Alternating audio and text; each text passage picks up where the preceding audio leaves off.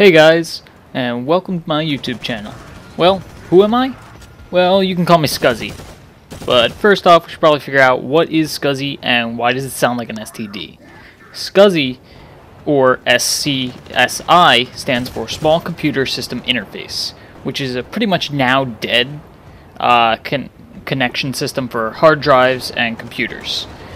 Why does it sound like an STD? I have no idea, but it makes it all the funnier.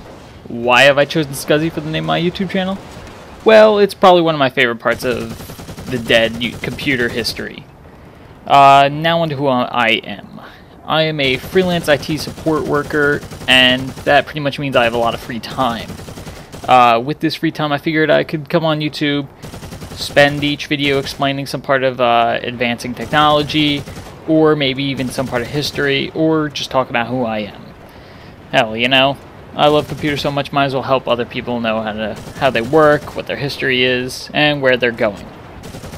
Why is it necessary to talk about computers and explain to other people? Well, it seems currently the way our our uh, technology is going, computers are going to pretty much be in everything, and they're pretty much going to dominate every aspect of life. And not many people actually know the full history behind them, how they actually work, and where the technology is going. So, like I said, uh, every week I'll probably post a video explaining uh, some part of uh, computer history, maybe some dead media or some uh, media that now dominates the field. Maybe I'll talk about current events where technology is going. Like uh, maybe new phone comes out, I'll talk about it, check out the specs and such, and we'll see from there. Alright guys, see how much I can't really talk about much in an intro video, I'm pretty much going to leave it here, but I'm going to leave you guys with a question.